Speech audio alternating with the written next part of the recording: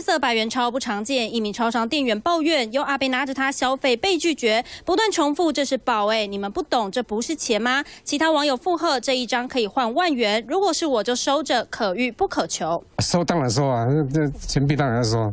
旧钞价值，网友热烈讨论，但专家说这一张顶多加个一到两成，因为这一款六十一年发行，一共分成 A 到 G 七款，A 是第一版才具有收藏价值，但若是编号头尾 AA 有特殊性的才有价值。你如果说你数字全部是带八八八八八一路发，那个才有很好的价值啊，一张个两万块钱都可以有可能。